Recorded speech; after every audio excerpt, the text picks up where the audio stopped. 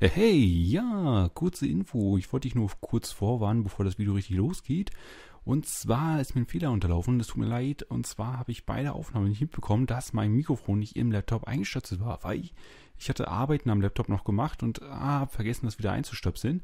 Von daher hat mein Laptop den Sound heute aufgenommen, von, nur von der Stimme her, vom Spiel und alles, das ist ja normal irgendwie aufgenommen worden. Ja, aber jedenfalls tut mir leid, ich wollte dich jetzt hiermit nur vorwarnen. Der Sound ist aber noch so in Ordnung, dass ich den jetzt so lassen kann. Aber in der nächsten Folge hörst du wieder diese Stimme und es ist auch eigentlich sehr interessant. So kannst du mal meine Stimme mal ohne Mikrofon hören. Tja, naja, ansonsten, die Folge geht los. Hallöchen, hier ist wieder euer Doc und ich begrüße dich zurück zu einer neuen Folge Minecraft. Genau. So, weiter geht's hier bei uns mit der Rolltreppe ins Nichts, Part 2 natürlich. Nicht vergessen, in der Videobeschreibung kommst du auch zum Part 1, falls du den nicht gefunden haben solltest. Ja, aber heute wollen wir sie fertigstellen. Und zwar hatten wir im ersten Teil ja eigentlich alles geschafft.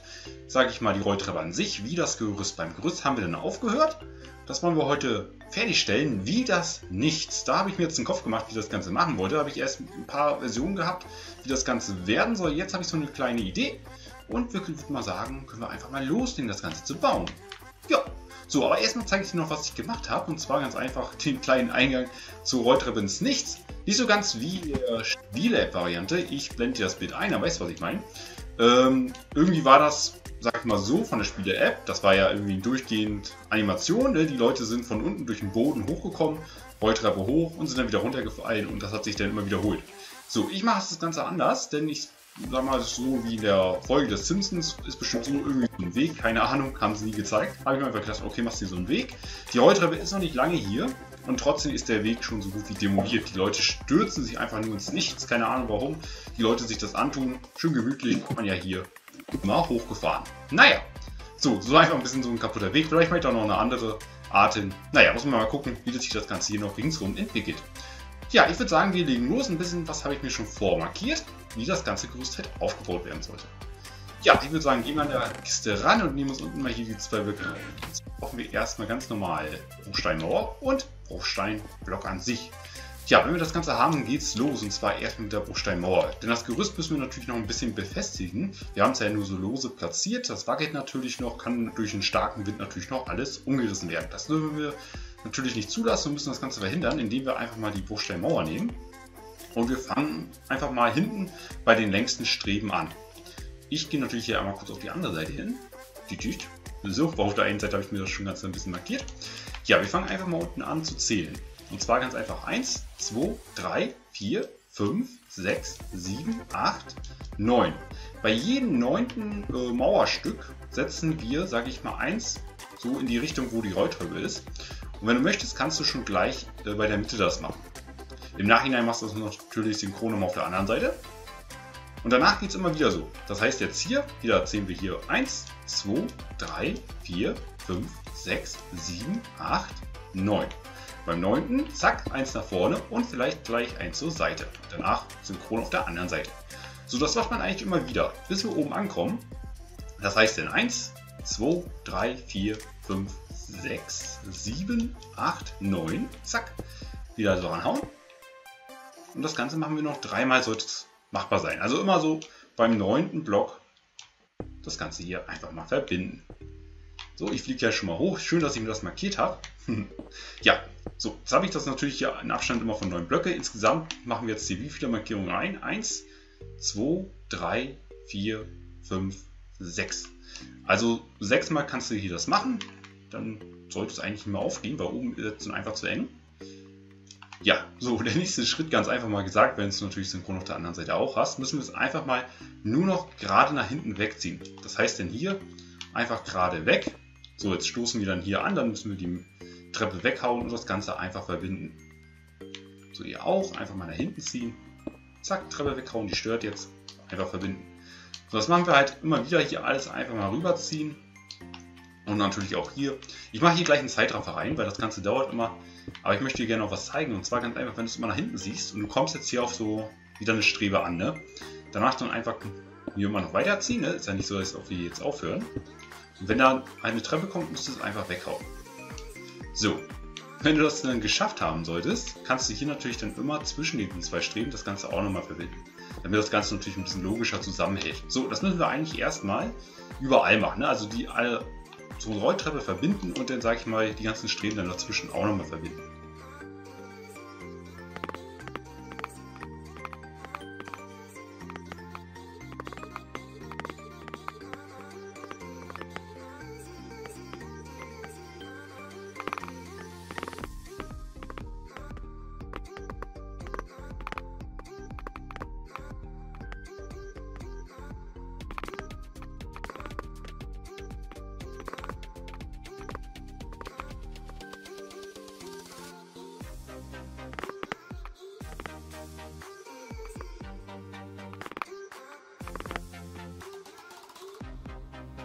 Wenn wir dann einmal geschafft haben, das Gerüst fähig zu ziehen, ich sollte jetzt auch nirgendwo was vergessen haben, hier zuzumachen auf jeden Fall.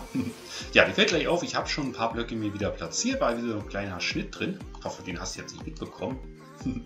ja, und zwar machen wir jetzt das nächste, und zwar müssen wir jetzt bei unserem Gerüst noch Streben reinsetzen, damit das Ganze dann wirklich noch ein bisschen stabiler ist.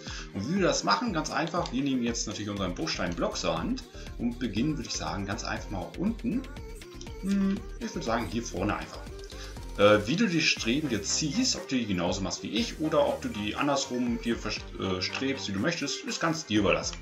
So, Hauptsache wir äh, machen das Ganze noch ein bisschen stabiler, damit es halt wirklich nicht umkippt. So, das heißt einfach mal, wir fangen hier vorne an bei unserem Gerüst, platzieren einfach, ja, einfach mal dran einen Block und dann gehen wir den Block jetzt noch einmal gerade so nach vorne, so einmal. Und dann müssen wir immer schräg zur Seite einmal gehen und dann machen wir auch wieder Zweier. So, und das machen wir eigentlich jetzt immer zu, bis wir oben einfach ankommen. Zack, wieder einmal zur Seite weg. Dann machen wir wieder so zwei Einer, die immer so ein bisschen schräger gehen. Und dann kommen wir hier eigentlich perfekt auf die andere Seite an. Und das ist halt eine Strebe. Eigentlich voll, ja, eigentlich einfach.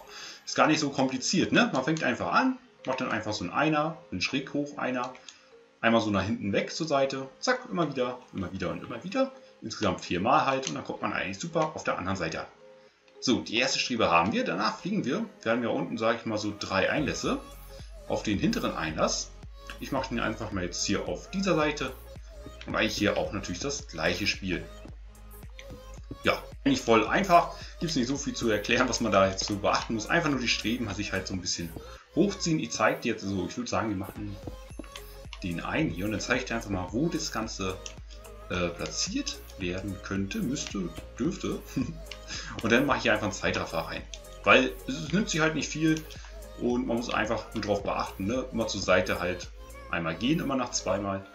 Dann kann man sich die hier so hinsetzen. So, okay, so dann haben wir das geschafft. Kommen wir zur zweiten Ebene. Ähm, kleiner Tipp, ich mache jetzt die Markierungen, da mache ich da einen Zeitraffer rein. Vielleicht machst du ja auch Markierungen, wie du gerne möchtest. So, ähm, wir kommen hier auf die zweite Ebene. Hier mache ich mir einfach die Markierungen einmal halt in diese Ecke einfach einen Block. Ne? Danach weiß ja den Fortschritt, ne? machst du dann hier mal so ein Zweier. Dann müsste man einmal nach hinten weg. Wieder so ein Zweier, ne? So, auf der anderen Seite einfach mal hier so gespiegelt gegenüber so platzieren. Ne? Dass man dann hier auch wieder so ein Zweier und dann geht man dann in diese Ecke schräg hoch. Das war's dann, weil hier ganz vorne machen wir jetzt nichts. Weil einmal haben wir nicht genügend Platz, um einen richtigen zu machen. Und außerdem ist das eigentlich relativ stabil, das sollte nicht so stören. Und dann haben wir auch die Mitte einmal freigelassen. Denn man muss nicht in jedem Fenster einen reinmachen. So, aber auf der nächsten Ebene machen wir auch nochmal zwei. Äh, hier machen wir einfach mal hier vorne an der Seite einen hin. Uh. So. Einfach da irgendwie einen an der Seite und dann mache ich mir hinten noch einen hin. Wie gesagt, das kannst du auch spiegeln, kannst du anders machen. Das ist Hauptsache. Hauptsache ist ein Streben drin. Das ist immer die Hauptsache. So, dann kommen wir zur nächsten Ebene. Hier mache ich ganz einfach mal gesagt, hier vorne einfach mal einen hin. Zack. Und dann kannst du entscheiden, machst du noch einen, machst du nicht einen, weil wir haben das Kästchen nicht so richtig voll. Sagen wir, hier verbindet sich das Ganze ja schon. Ähm, ich mache jetzt trotzdem einen hin, auch wenn bei der Spieler-App hier oben keine Strebe mehr ist. Ich möchte hier noch einen haben. Und sage mir einfach mal, okay, ich könnte jetzt, sage ich mal, von der Seite nicht ganz nach oben machen, weil wir würden ja, sage ich mal, hier so anstoßen. Das finde ich, sieht irgendwie doof aus. Von daher sollte denn die Strebe jetzt bei der dritten Ebene von oben jetzt mal gesehen auf der Seite der Rolltreppe beginnen, ne? damit du dann das Endstück irgendwo oben hast. Von daher fange ich dann einfach mal hier so an. ja, so das Ganze so ein bisschen verworren ist, ne? einfach mal ein bisschen durchmachen und ja, ziehen wir einfach mal hoch. Ne?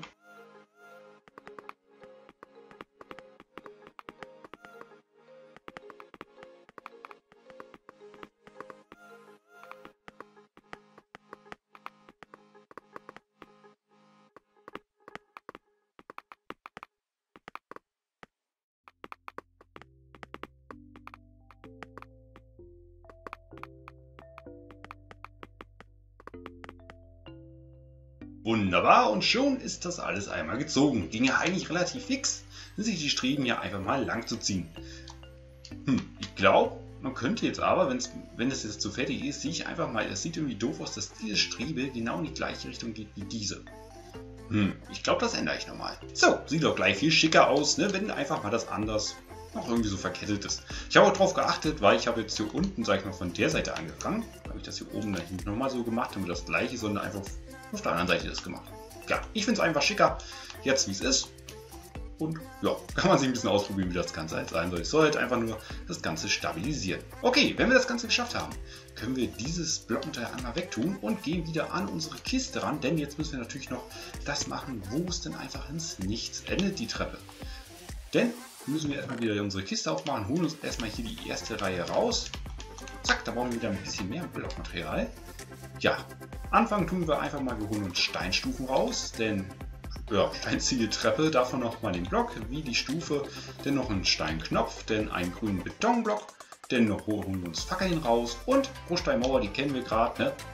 Also kann man sich die auch wieder holen. So, wenn wir dann das ganze Blockmodell zusammen haben, geht's los und zwar erstmal würde ich sagen mit Steinstufen. Hm, wir fangen an, obwohl, das wäre ein bisschen Quatsch, damit anzufangen, wir machen anders an und zwar mit der freien Hand. Und zwar müssen wir jetzt erstmal ein Loch reinschlagen. Wir fangen an, einfach mal gesagt, hm, hier bei unseren Streben. Da schlagen wir ein Loch, da schlagen wir ein Loch und verbinden das einfach. So, dann haben wir hier insgesamt vier Blöcke. Gehen jeweils ein noch zu jeder Seite, haben wir sechs Blöcke. So, jetzt machen wir ein Viereck insgesamt. Das heißt, wir gehen jetzt an den Seiten noch 1, 2, 3, 4, 5 Blöcke nach vorne. Der anderen Seite auch 1, 2, 3, 4, 5. Ne, jetzt haben wir dann hier auf der Seite auch 6. Hier noch einmal verbinden. Zack, und dann haben wir, sag ich mal, überall auf jeder Seite sechs Blöcke an sich so Platz, schlagen die Mitte einmal raus und haben wir hier ein schönes Viereck. So. Hm, ich sehe gerade hier meine Vormarkierung, muss ich noch mal irgendwann mal wegmachen. ja, so. Danach kannst du das Ganze dann, sag ich mal, die Wände gerade runterziehen. Ich habe jetzt hier einfach mal, äh, wenn du es auch nehmen möchtest, grauen Beton genommen und unten auf dem Grund das ist auch wieder deine Entscheidung, wie tief du das Ganze halt runterziehst, habe ich schwarzen Beton genommen. Damit das Ganze halt duster ist, ne, und das könnte halt sein, dass nichts, weil ich weiß nicht genau, wie man in Minecraft nichts darstellt. Und ich finde einfach so die Idee, wenn man halt ein Loch baut, wo nichts drin ist, ist das nicht das Nichts? Könnte das das, das ist es doch eigentlich, oder? Das ist das Nichts. Besonders mit diesem schwarzen Beton ne, sieht das halt aus, als ob da halt wirklich nichts ist. Ist es natürlich auch nicht. Ist halt einfach nur ein Loch. ja, kann man sich einfach runterziehen. Wie tief das ist, darf jeder selbst entscheiden. So, okay, dann würde ich sagen, gehen wir jetzt los mit den Steinstufen. Wir fangen an den Seiten am besten einmal an. Einfach jetzt, würde ich sagen, hier vor die Rolltreppe ist, geht's los. Einfach an der Seite 1 platzieren, lassen wir einen frei, setzen 4 hin, Ecke freilassen, können wir das einmal hier auf der Rückseite des Loches zuziehen die Ecke wieder hier freilassen. Vier Stufen hin, einmal freilassen und hier wieder so eine Stufe hin. So, ganz vorne ran platzieren wir jetzt Treppen. Zack, zack, zack. Denn, wo wir überall einmal freigelassen haben, platzieren wir zweimal die äh, ja, Ziegelblöcke an sich. Insgesamt sind es ja vier Stück. Ganz oben drauf kannst du jetzt einmal einen Knopf platzieren, obwohl auf den hinteren machen wir das einfach mal nicht, nur auf den vorderen. Danach können wir einfach mal das alles verbinden mit den Stufen. Ist wie so ein kleines Geländer. Die Rückfront lassen wir einfach mal offen.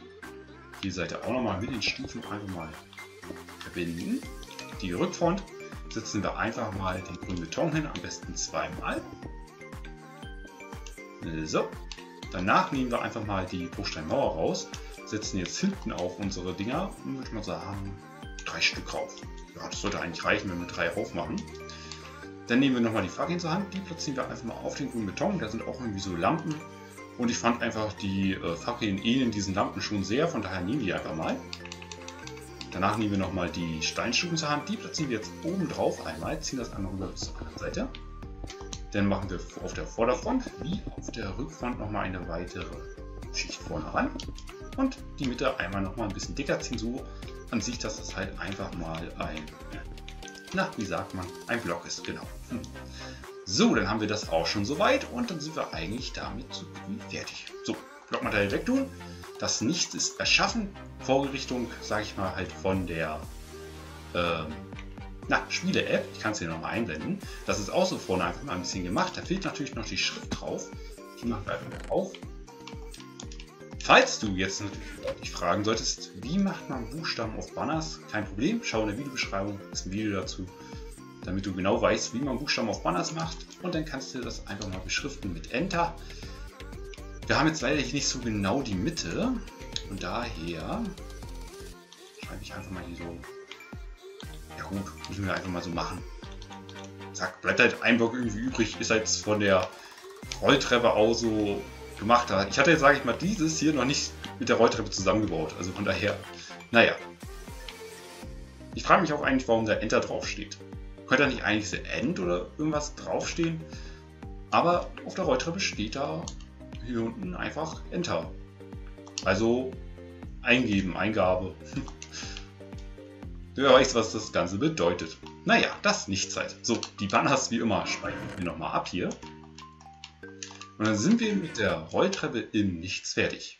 Tja, jetzt ist natürlich die Frage, was kommt wieder als nächstes? Es wurde wieder was vorgeschlagen, und zwar ein Häuschen, oder soll man es überhaupt Häuschen nennen, so eine Villa. Ich glaube, das wird es werden. Was es genau ist für eine Villa, verrate ich noch nicht. Da musst du einfach noch ein bisschen dich gedulden. Und ja, so ansonsten der Vorbau drüben wird wieder weggerissen. Ne? Kannst ja nochmal winken, wird wieder abgebaut. Dann sind wir heute hier wieder fertig. So, ich würde sagen aber, wir testen zum Ende des Videos nochmal die Rolltreppe. Ob das wirklich im Nichts endet, das finden wir gleich raus.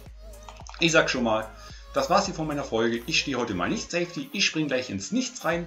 Ich habe mich ja hochgequält hier mit der Rolltreppe. Und ja, dann würde ich sagen, sehen wir uns zu einer anderen Folge wieder. Haut's rein und tschüss!